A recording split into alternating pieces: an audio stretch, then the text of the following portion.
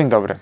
Znacie pewnie to uczucie. Wychodzicie pod koniec e, takiego gorącego letniego dnia po to, żeby no, rozkoszować się troszeczkę tym chłodem. Odrobiną tego chłodu, takiego orzeźwiającego po naprawdę gorącym letnim dniu. I zaczyna się.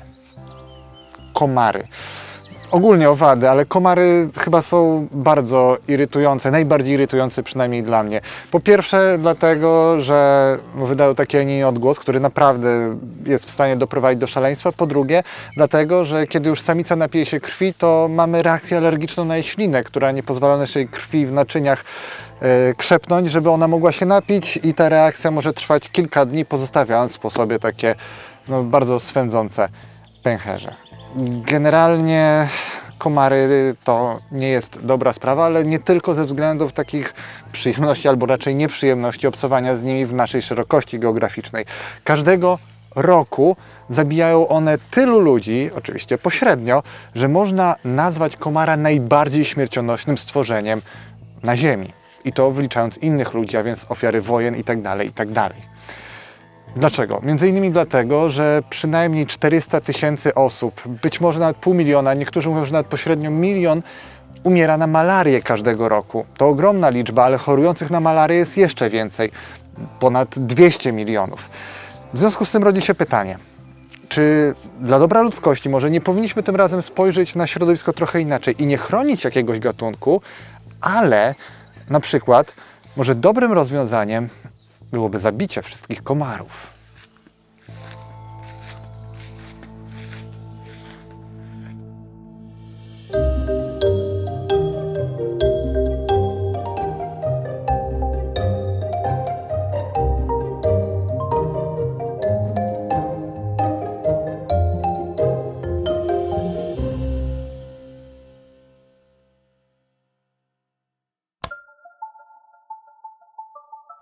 Rozwijmy trochę to, co powiedziałem w tym wstępie, zaimprowizowanym w czasie wakacji na Mazurach w 2019 roku, czyli prawie dokładnie rok temu, gdzie pojechałem, żeby nie pracować, a jednak wziąłem ze sobą mikrofon, tak na wszelki wypadek, co dużo mówi o tym, jak wygląda generalnie moje życie. Niemniej chodzi mi o skalę zagrożenia dla ludzi ze strony komarów, bo te słowa chyba nie do końca oddają to, co powinny oddać. Komary nie dość, że kształtowały, to wciąż jeszcze kształtują historię naszego gatunku.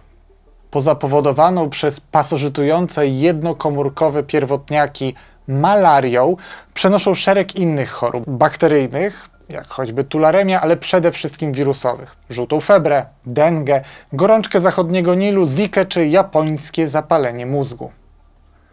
Tak na marginesie, te wszystkie wirusy, które wymieniłem i wszelkie inne wirusy podobne, które są przenoszone przez stawonogi, takie jak nie tylko komary, ale i pchły, e, kleszcze, skorpiony, homary, krewetki itd., tak itd., tak mają swoją zbiorczą nazwę. Arbowirusy.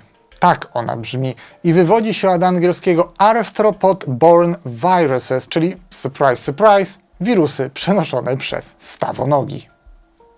Tak jak już wspomniałem, życie w klimacie umiarkowanym sprawia, że no, raczej zwracamy uwagę na te swędzące pęcherze, a nie wspomniane wcześniej choroby. I gdybyśmy mieli wskazać stawonoga, którego się obawiamy, to pewnie w pierwszej kolejności wybralibyśmy kleszcza. Ale nie dajmy się zwieść.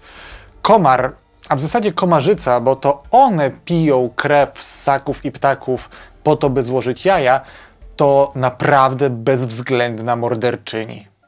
Co roku zabija od 720 do 850 tysięcy osób, dystansując tym samym drugiego na liście najbardziej śmiercionośnych dla ludzi stworzeń, czyli człowieka.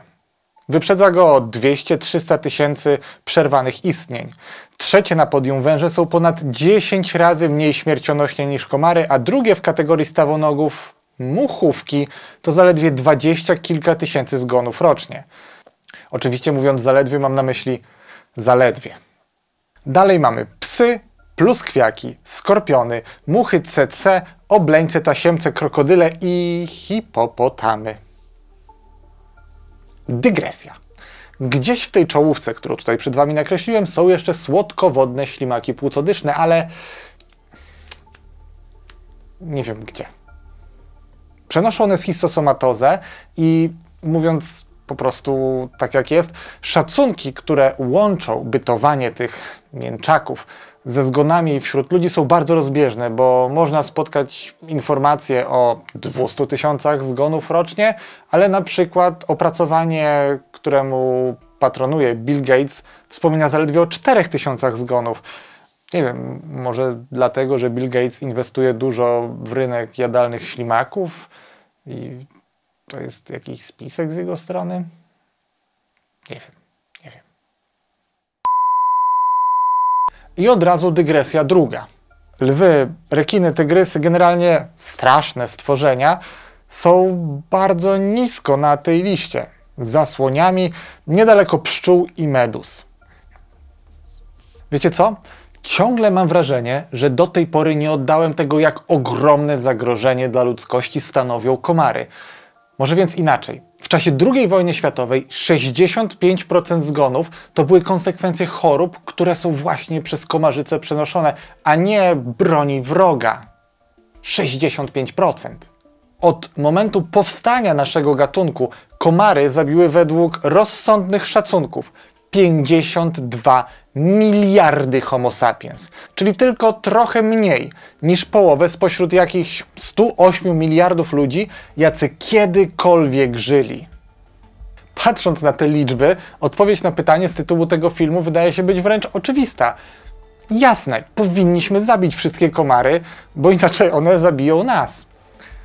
Ale jak to często bywa, takie automatyczne, szybkie myślenie potrafi w pewnych kwestiach sprowadzić na manowce i doprowadzić do odpowiedzi, no, nie bójmy się słów, pochopnej, może nawet błędnej.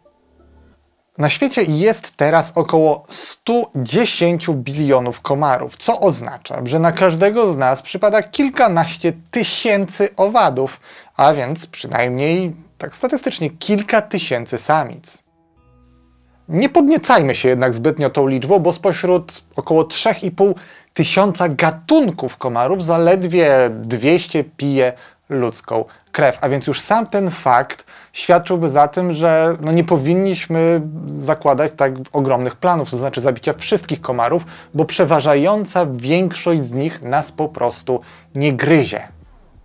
Chociaż to nie do końca dobre określenie, bo gdybyśmy przyjrzeli się komarzycom pod mikroskopem, zauważylibyśmy, że nie mają bowiem aparatu gryzącego, nie mają żądła, a więc powinniśmy mówić o ukłuciach komarzycy i to miałem do tej pory na myśli i będę miał w dalszej części tego odcinka, mówiąc kolokwialnie o ukąszeniach komarów. Czyli mówiąc to myślę ukłucia komarzyc, które, dodajmy, nie robią tego po to, żeby się najeść komary są wegetarianami. Na co dzień żywią się nektarem kwiatowym, a krew komarzyce piją tylko wtedy, kiedy chcą przedłużyć istnienie gatunku, kiedy chcą przywołać na ten świat, czy sprowadzić raczej na ten świat kolejne pokolenia, bo krew, a w zasadzie składniki krwi są im niezbędne do wytworzenia jaj. A tak na marginesie mikroskop kupiłem też rok temu z myślą o tym i podobnych odcinkach i zanim go w ogóle użyłem na kanale, to Saifan zdążył odrestaurować dwa i to bardziej złożone, więc brawo ja, brawo za tempo pracy. Innym argumentem przemawiającym za oszczędzeniem przynajmniej części komarów może być fakt, że 90% gatunków z rodzaju Toxorynchites w okresie larwalnym żywi się larwami innych komarów. Dzięki tej kanibalistycznej w pewnym sensie diecie kumulują w organizmach wystarczająco dużo białek, różnego rodzaju substancji organicznych, że nie muszą się posiłkować krwią żadnych stworzeń w postaci dorosłej, aby wytworzyć jaj. Czyli nie dość, że nas nie kłują, nie dość, że nie kłują żadnych ptaków, żadnych ssaków, to jeszcze są w stanie zmniejszyć populację gatunków, które to robią. Zresztą na niektórych terenach, na których dosyć często występuje denga, próbuje się wprowadzać właśnie gatunki z tego rodzaju po to, aby ograniczyć populację komarów, które mogą przenosić tę chorobę pomiędzy ludźmi, które są wektorem przenoszącym tę chorobę. Skoro już o chorobach mowa, no to wypada wręcz zacząć od malarii, o której z całą pewnością zrobię kiedyś duży film, a którą to przenoszą głównie przedstawicielki rodzaju Anopheles. Spośród 460 gatunków tego rodzaju ludzką malarię przenosi około 100, z czego zaledwie, jeżeli mogę tak powiedzieć, 30-40 gatunków stanowi realne zagrożenie dla człowieka, a tylko część z tych gatunków może przenosić najgroźniejszą odmianę malarii powodowaną przez Plasmodium falciparum, czyli zarodziec sierpowaty, z czego za większość zakażeń tą odmianą odpowiada jeden gatunek Anopheles gambie i już eradykacja tego jednego gatunku. Eradykacja w tym miejscu to nie jest najlepsze słowo. Eradykować można choroby. Chyba miałem na myśli eksterminację. Chyba nawet na pewno miałem na myśli eksterminację.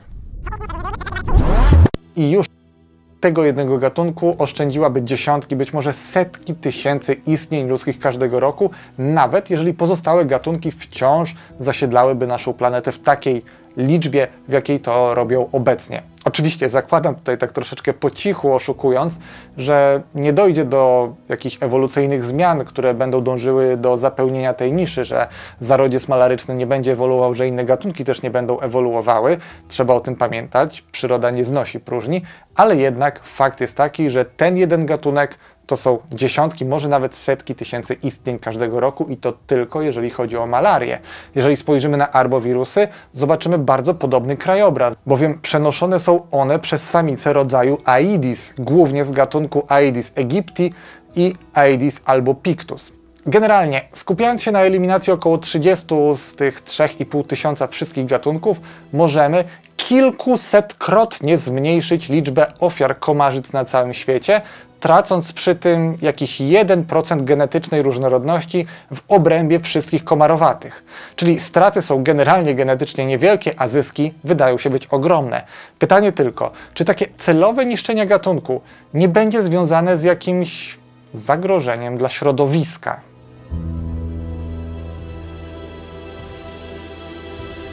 Larwy komarów przyczyniają się na przykład do oczyszczania wód. Stanowią element łańcuchów pokarmowych zarówno w wodzie, gdzie żywią się nimi ryby, jak i nad wodą, na lądzie, gdzie mogą je konsumować ważki, ptaki czy nietoperze. Jednak warto tutaj zaznaczyć, że nie wiemy obecnie o żadnym gatunku, którego dieta jest oparta głównie o komary. Są one raczej urozmaiceniem niż taką dietetyczną bazą. Największe wątpliwości w tej kwestii, jeżeli w ogóle jakieś są zgłaszane, dotyczą Arktyki, gdzie komar to główny, a więc najliczniejszy owad i potencjalnie może się nim żywić w większym stopniu niż w innych częściach świata tamtejsze ptactwo. Warto jednak pamiętać, że żaden z tych arktycznych gatunków, mówię tutaj o komarach, nie przenosi zagrażających ludziom chorób.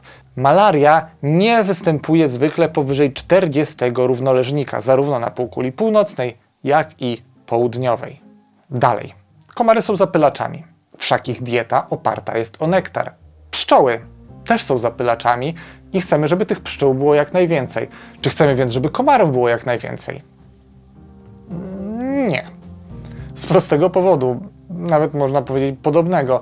Żaden gatunek nie polega na komarach jako na głównych zapylaczach. Wyjątek mogą potencjalnie stanowić orchidee znów z okolic arktycznych, gdzie komary, tak jak wspomniałem, są dominującym owadem. I tak na przykład wiele wskazuje na to, że komar jest głównym zapylaczem orchidei z gatunku Platanthera obtusata. Z tym, że główny zapylacz nie oznacza jedyny. Są inne insekty, które mogą teoretycznie komara wyręczyć, komara, który, przypomnę, nie przenosi chorób w tej części świata. A skoro w tych wywodach zawędrowaliśmy już do Arktyki dwukrotnie, podbijmy stawkę. Trzecia wizyta w Arktyce. Tamtejsze komary są tak spragnione krwi ssaków, że wpływają na ich migrację. Mam tu na myśli karibu, które chcąc uniknąć ukłuć samic, są w stanie odpuścić najbardziej zielone pastwiska. Komary wpływając na szlaki migracji stad tysięcy roślinożerców chronią przed ich apetytem część terenów zielonych. I nie wiadomo, czy gdyby ich zabrakło, nie wpłynęłoby to na tamtejszy ekosystem, ale po raz trzeci podkreślę, że ten scenariusz jest potwornie mało prawdopodobny, to znaczy raczej nie skupimy swoich wysiłków na Arktyce, bo tamtejsze komary nie stanowią zagrożenia dla życia człowieka. A skoro o ludziach mowa, część badaczy sugeruje, że komary są czynnikiem, który odstrasza nas od coraz bardziej natarczywego wnikania w dzikie tereny tropikalnych dżungli, dzięki czemu ich ekosystem pozostaje w miarę nienaruszony przez naszą zbyt często niszczącą działalność. Jest jeszcze jedna ważna kwestia, którą wypada tu poruszyć. Zresztą trochę była ona już poruszona wcześniej, mianowicie przyroda nie znosi próżni i jeżeli zabrakłoby komarów, to powstałaby nisza ekologiczna, która nie jest zapełniona. I pytanie, co zastąpiłoby komary w tej niszy? Czy to coś nie stwarzałoby większego zagrożenia? Więc wielu badaczy stawia w tym wypadku na muchówki, te same, które już dziś doprowadzają do śmierci tysięcy ludzi i niewykluczone, że taka zamiana w dłuższej perspektywie nie przyniosłaby żadnych albo zbyt wielu wymiernych korzyści. Zdaniem wielu badaczy, powiedziałbym nawet, że w większości takim najpoważniejszym zagrożeniem podczas rozważania tego, czy powinniśmy zabić wszystkie komary, czy jak już pokazaliśmy, to jest trochę za dużo, czy powinniśmy zabić niektóre gatunki komarów całkowicie, jest to, że czegoś po prostu nie przewidzimy, że zrobimy to i dowiemy się o pewnych negatywnych skutkach naszych działań dopiero po czasie. Bo to, że na chwilę obecną nie widać jakichś tych negatywnych skutków, nie oznacza, że ich tam nie ma. I oczywiście działa to też w drugą stronę. Jeżeli takie negatywne skutki są oczywiste, to nie znaczy, że korzystając z jakiegoś rozwiązania, nie musi to być zabijanie gatunku, e, nie możemy odnieść wymiernych korzyści. W ten filozoficzny sposób podprowadzam myśl, że każdy kij ma dwa końce, każdy miecz ma dwa ostrza, a ja nagrałem coś na ten temat, co jest trochę związane z komarami na Mazurach rok temu i teraz Wam ten fragment zaprezentuję. Warto przywołać jedną cząstkę chemiczną, którą trzeba w kilku zdaniach więcej w tym momencie opisać, która w pewien sposób budziła bardzo wielkie nadzieje, e, która można nawet powiedzieć, że w krajach, w których malaria nie występuje w ogromnych ilościach, pozwoliła tę malarię całkowicie eradykować. I tą substancją jest dichloro, difenylo, trichloroetan. DDT substancję, którą prawdopodobnie znacie, substancję, która obecnie jest y, postrzegana w kategoriach substancji szkodliwej, jest klasyfikowana do grupy 2A, czyli potencjalnie czy prawdopodobnie rakotwórczych przez Światową Organizację Badań nad Rakiem. Jest generalnie jej stosowanie na taką szeroką skalę zabronione przez różne światowe organizacje. No i jeszcze jest to substancja, która praktycznie doprowadziła do wyginięcia kilka populacji ptaków drapieżnych w wielu miejscach na świecie. Ale nie można zapominać o tym i nie można o tym nie powiedzieć, że jest to jednocześnie substancja, która naprawdę w wielu rejonach sprawdziła się praktycznie doskonale, jeżeli chodzi o kontrolę komara, jeżeli chodzi o kontrolę zarażeń malarii i która miała ogromny wpływ na bieg II wojny światowej. Pierwszą jej syntezę przeprowadził w 1874 roku Austriak Ottmar Seidler, ale właściwości owadobójcze tego związku odkrył dopiero Paul Miller w 1939 roku, 9 lat przed Nagrodą Nobla, którą otrzymał właśnie z tej okazji. Dlaczego? Dlatego, że stosowanie DDT w teatrze działań II wojny światowej, na Pacyfiku, w Azji sprawiło, że wojska alianckie nie były tak silnie dotykane przez tyfus, który był przenoszony przez wszy. Później DDT w latach 60. potrafiło sprowadzić zachorowania na malarię na Sri Lance z poziomu kilkuset tysięcy rocznie do 28 i 19 w połowie lat 60. Także pomimo tego, że ma ono bezprecedensowo negatywny wpływ na wiele czynników, to ciągle jest akceptowane jego stosowanie. I co ciągle jest ono stosowane. Co prawda, komary mogą się przeciwko niemu uodpornić. E, w jaki sposób? No, generalnie nie powinny, ale DDT było swego czasu masowo wykorzystywane również w rolnictwie i to to zastosowanie sprawiło, że komary się na nie uodporniły. To po pierwsze. Po drugie, w wielu rejonach świata WHO, czyli Światowa Organizacja Zdrowia, dopuszcza stosowanie tego DDT wewnątrz domów. Wykazano, że nawet komary, które są nań odporne, a generalnie DDT poraża układ nerwowy u owadów, powodując konwulsję i śmierć, to nawet jeżeli owady są na nie odporne, to unikają domów, które są spryskane od wnętrza DDT. Ale prawdą jest to, co być może słyszeliście o tym związku, że on i jego pochodne, czyli DDE i DDD, to są substancje, które odkładają się w tłuszczach, które są w stanie zaburzyć gospodarkę hormonalną w niewielkim stopniu, które sprawiają, że wiele organizmów, na przykład ptaki drapieżne, wytwarzają cieńsze jaja, co spowodowało właśnie, tak jak wspomniałem, praktycznie wyginięcie orła bielika, sokoła wędrownego czy różnego rodzaju kondorów w Stanach Zjednoczonych, a kiedy tego DDT przestano stosować, kiedy zaprzestano y, takiej masowej nie tyle produkcji, co właśnie wykorzystania, to ta populacja się odbudowała. To taka dygresja, to znaczy to DDT tak jakby nie można go powszechnie stosować, ale w określonych warunkach, żeby walczyć właśnie z malarią, jest dopuszczone jego stosowanie. Dlaczego? Dlatego, że jest po prostu tak potwornie skuteczne w okiełznaniu tej choroby. Chociaż mamy nowe pomysły na to, jak walczyć z komarami i właśnie do tych nowych pomysłów chciałbym w tym momencie przejść. Jest ich tak wiele, że nie sposób omówić wszystkich e, bez zagłębiania się w szczegóły, które przeciągnęłyby ten film o kolejne minuty. Pozwólcie więc, że o takich najbardziej oczywistych opowiem bardzo krótko, w zasadzie tylko wspomnę. Na liście są więc zarówno zastosowanie insektycydów zabijających larwy, zabijających dorosłe osobniki, osuszanie zbiorników wodnych, no bo samice komarów muszą złożyć jaja w wodzie, to jest absolutny must have, czy rozstawianie w terenach, gdzie mogą koegzystować z ludźmi, pułapek na owady na różnych stadiach rozwojowych. Choć przy tej okazji akurat mógłbym wspomnieć o czynnikach chemicznych, biologicznych, które wabią owady, które sprawiają, że jedni są kąsani przez komary, czy kłóci przez komarzyce, częściej niż inni. Jeżeli chcielibyście o tym posłuchać, to po pierwsze dajcie znać w komentarzach, a po drugie możecie zajrzeć na drugi kanał, bo jeżeli taki film by się pojawił, to prawdopodobnie pasowałby właśnie tam, jako taki szybki, ciekawostkowy strzał. Link zostawię w opisie. A teraz wracam do zasadniczej narracji. Można też zastosować biokontrolę polegającą na wprowadzeniu do ekosystemu, w którym żyją komary, gatunków ryb żywiących się larwami lub ważek albo nietoperzy, które będą zjadały dorosłe owady.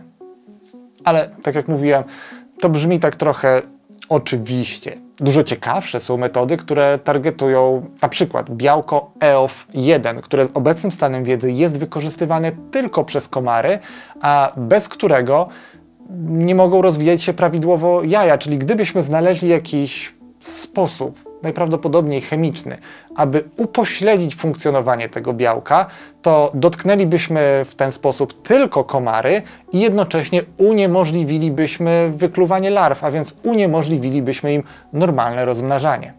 Ale to nie wszystko. W wielu projektach rozważa się atakowanie tylko jednej płci komara. Co zaskakujące, są to samce.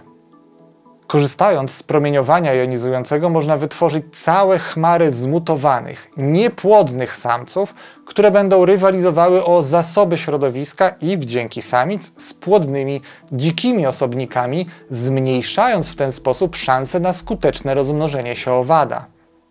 Ciekawe, nie, potwornie ciekawe jest zastosowanie biotechnologii do stworzenia genetycznie zmodyfikowanych samców komara.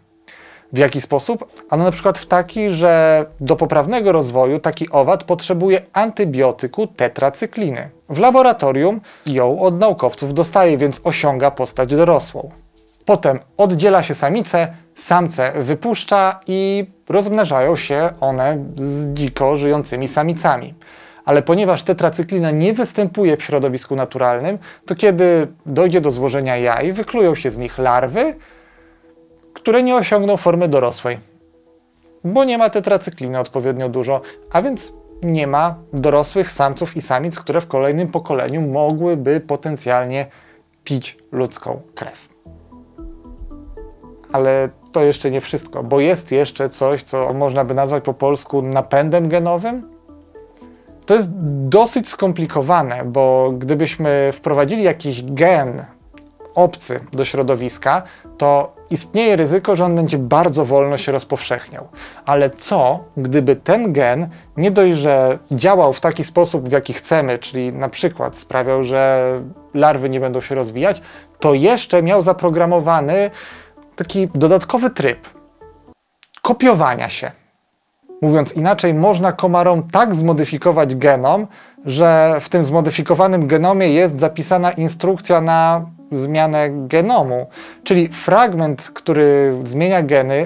Jeżeli jakiś komar będzie miał jeden wariant tego genu, odziedziczony powiedzmy po ojcu, to w normalnej sytuacji byłoby 50% szans, że ten gen trafi do kolejnego pokolenia. Ale w przypadku, który opisuję, zanim dojdzie do tego rozmnożenia, gen zadziała i stworzy kopię samego siebie w części DNA, która pochodzi od matki, zapewniając, że ze stuprocentową pewnością zostanie on przekazany kolejnym pokoleniom, w których też będzie się w ten sposób kopiował i w ten sposób dużo szybciej w porównaniu do takiego klasycznego dziedziczenia mendlowskiego można wręcz zalać populację genami, które mogą na przykład komary zabijać, ale mogą je uczynić odpornymi na malarię.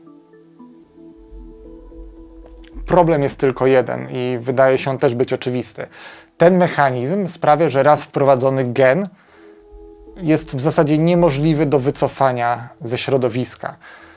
To znaczy, jeżeli okaże się, że jest coś, o czym nie pomyśleliśmy, no to stało się i tego się w zasadzie nie cofnie. Z tego powodu właśnie nie rzucamy się na to rozwiązanie jak szczerbaty na suchary, rozważamy je, przeprowadzamy testy laboratoryjne, mówiąc my mam oczywiście na myśli kompetentni w tym względzie naukowcy. Wszystko dlatego, że zdajemy sobie sprawę, że możemy czegoś ważnego nie dostrzegać, możemy czegoś ważnego jeszcze nie wiedzieć. I to wszystko brzmi naprawdę futurystycznie, jak science fiction. Pomyśleć, że jeszcze naprawdę nie tak dawno temu podstawowym rozwiązaniem albo często stosowanym rozwiązaniem było na przykład wylanie oleju na zbiornik wodny, w którym rozmnażają się komary. Przez to samicom było trudniej złożyć jaja, a larwy nie mogły Y, swobodnie oddychać, przez co się dusiły. To się nazywa duży krok technologiczny i naukowy naprzód.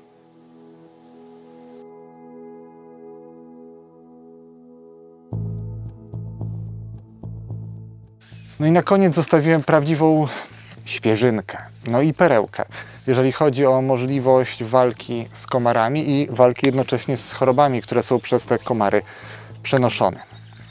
To efekt inżynierii genetycznej, a mianowicie krzyżówka grzyba, grzyba metarizium, który jest w stanie infekować, czy jego spory są w stanie rozwijać się w grzyba tak praktycznie selektywnie tylko i wyłącznie na komarach, razem z pająkiem, z jadowitym pająkiem, którego geny, a dokładniej geny, które kodują powstanie toksyn, tak jakby wszczepiono w genom grzyba i kiedy tylko znajdzie się on na komarze i zacznie tam rosnąć, to rozpoczyna również produkcję tejże toksyny.